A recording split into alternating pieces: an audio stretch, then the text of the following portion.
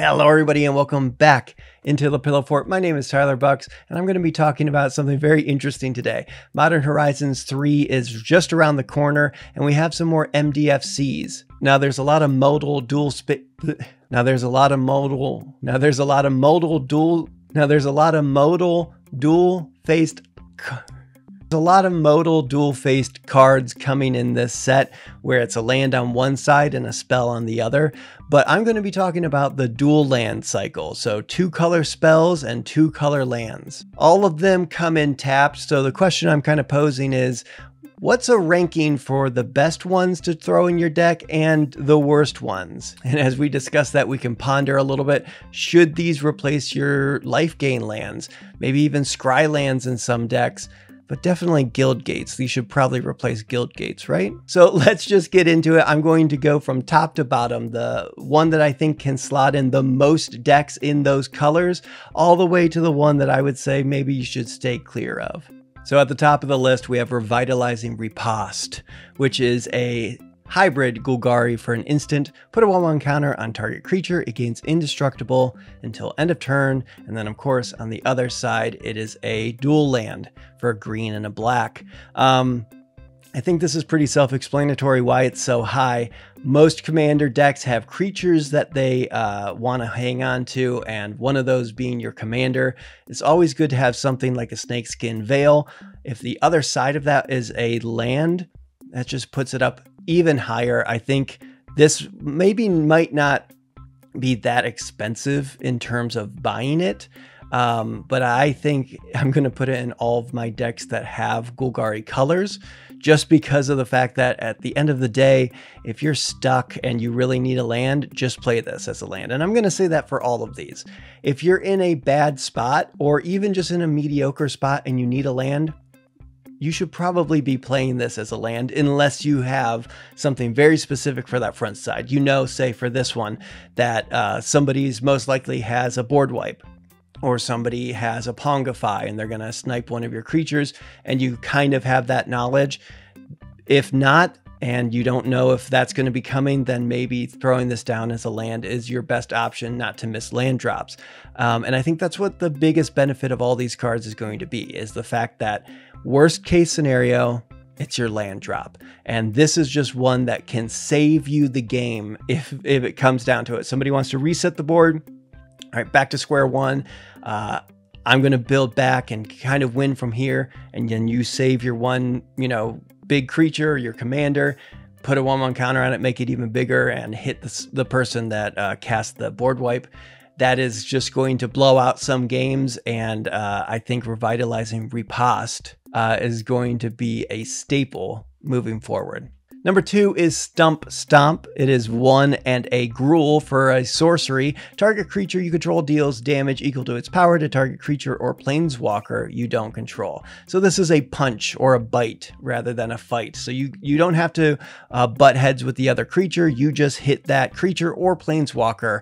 Um, this is awesome. I mean, I wish it was an instant, but at the same time, once again, sorcery speed removal for something even a planeswalker you can really get somebody if they have a big board of tokens or, or you know whatever the case may be. Um, and then again on the other side it's a dual land. So stump stomp for me is number two. Let me know if you're already uh, disagreeing with me in terms of my rankings Number three is Waterlogged Teachings. It is three and a Dimir for an instant. Search your library for an instant card or a card with flash, reveal it, and put it into your hand, then shuffle. And then it taps for a blue or a black on the other side. Um, why I think this is so strong is in Dimir decks or Grixis or you know anything that touches this color combo instants or even with fairies, things with flash are very, very powerful in these colors. And at the end of the day, sometimes you just need a little bit more card draw. You just need that one removal spell. You just need that one fairy that's going to, uh, you know, flash in and be a blocker or whatever it is. This is just so flexible as well as being a land on the other side. I'm gonna I'm not gonna harp on that too often, but it's just so flexible to be able to grab any instant in your uh, library. Four mana is a little steep for sure, and the fact that it's kind of uh, specific to instants and things with flash, I get that it might not fit in every single deck, but for me, it's going to go in basically every Dimir deck I have, especially um, my Ninja's Yuriko deck. Don't tell anybody about that. All right, moving on. Next up, Strength of the Harvest. Two and a Selesnya for an enchantment aura. Enchant creature. Enchanted creature gets plus one plus one for each creature and or enchantment you control. Um, this is just kind of crazy strong in uh, specific Selesnya colors, their token decks, their enchantment decks. Um, the only thing I would say with this, in some decks, uh, in these colors, you might not really want to go tall with one creature, or you might not be running all enchantments or whatever. But I think in the right deck where you have a beatdown kind of commander, or in a uh, enchantress style deck, this is just going to be possibly a game ender for three mana. It's it's going to slot in to a lot of decks. Um, I can just see some people not really needing to throw it in there, but who knows? Maybe I'm just not seeing a, a crazy combo with it. So let me know in the comments and we'll move on to the next one. Blood Soaked Insight is five.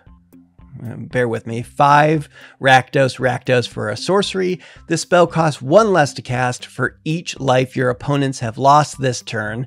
Uh, target opponent exiles the top three cards of their library. Until the end of your next turn, you may play those cards. If you cast a spell this way, uh, you may spend mana as though it was any uh, type to cast it.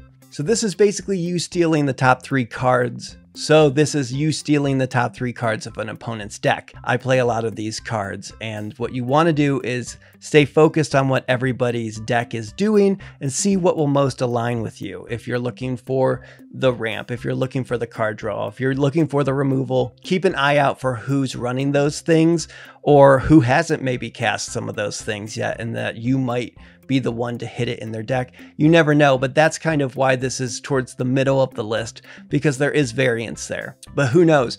You might just spike exactly what you need. All three cards, you can play all three of them, you can take over the game, and that's kind of Rakdos for you. It's a coin flip, um, and I, I, I like this this card a lot. It's going to go in a lot of my decks, but maybe not all of them. We'll see.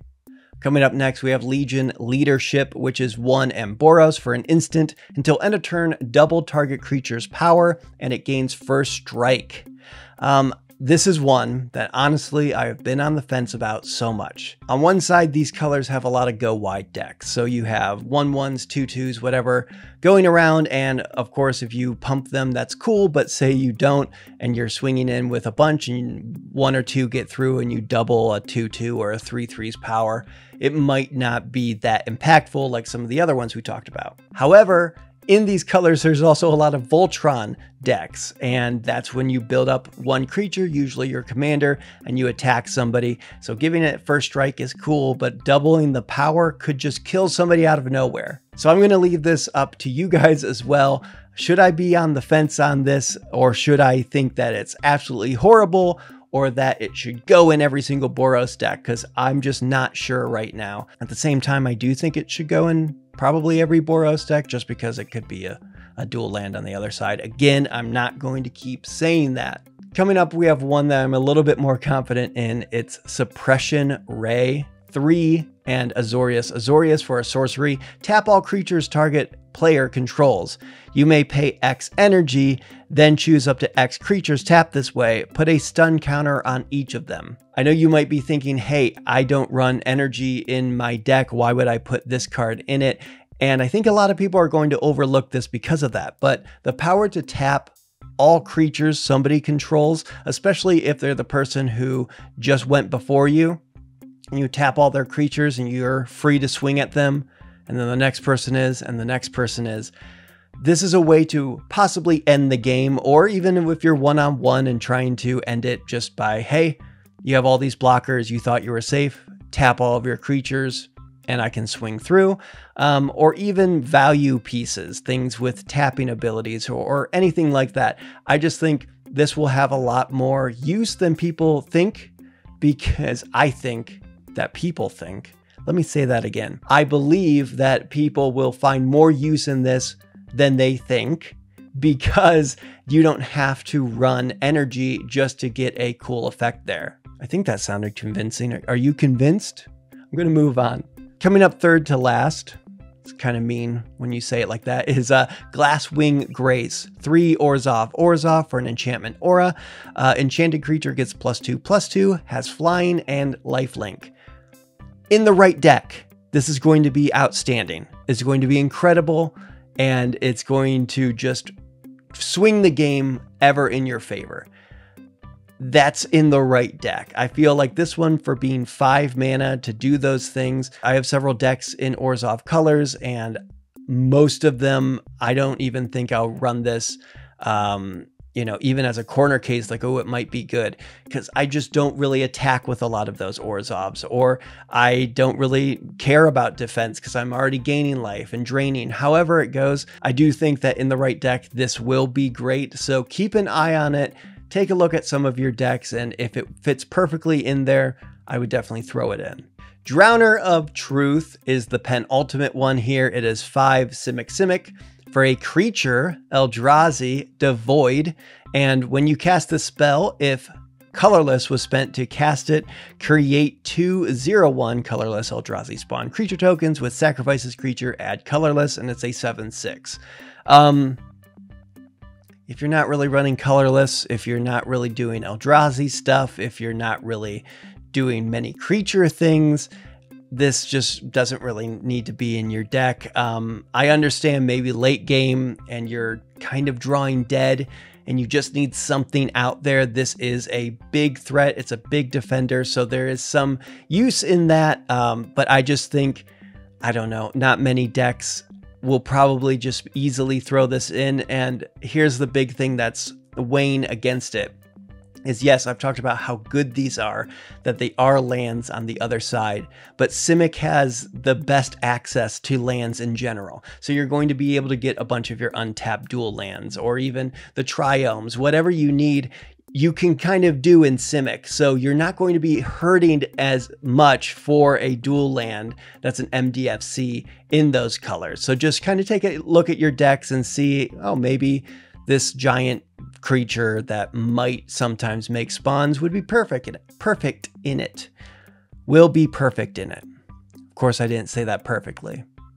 Let's move on to the very last one. This pains me to say, as a Grixis mage myself, this one hurts. Rush of Inspiration is one. Is it, is it? For an instant, draw two cards, then discard a card. It would be amazing if the card stopped there. if it just was a three mana draw to discard a card, that would be incredible. But there's more text. Then discard a card at random unless you pay energy, energy. Listen, in the energy decks, auto include. This is amazing. It's going to give you card selection. That's why I love drawing uh, the, the looting spells. I love this type of effect. I really do. So in any energy deck, put this card in it if it fits there. 110%. In every other deck, though, it's pretty much stone unplayable. I had a Kess deck for a while. I'm kind of building a different deck that plays with the graveyard in these colors right now. Even in that, I'm not going to put this in there, even if it is a tapped dual land on the other side, like I've been talking about. Uh, the discarding a card at random is just, it's too much variance. We were talking about variance earlier on in the list, and this is just like the evil step sister of variance when it's like discarding a card at random. We already know this as a bad thing because of two mana Tibalt. That was one of the cards that was like, oh my gosh, this card and this character looks so cool, and I can't wait to play it. And then you would play it, and you would just lose game after game by discarding the one. It's always, it's somehow the the rules of the universe know that okay, listen, I can discard a lot of these. I will be fine if I just don't discard this one. And then you discard that one. It's the same thing with gamble. And I just don't think Rush of Inspiration is as much of a gamble that you should uh, go all in on. So unfortunately, you're at the very, very end. I think, did they get concerned about that otter? See, I even, is it Lutri? The, the one from Ikoria, um, where they were like, okay, we're going to do a cycle and let's not get the is it one banned immediately. Maybe that's what we saw here. Um, but yes, there you go. That's my list.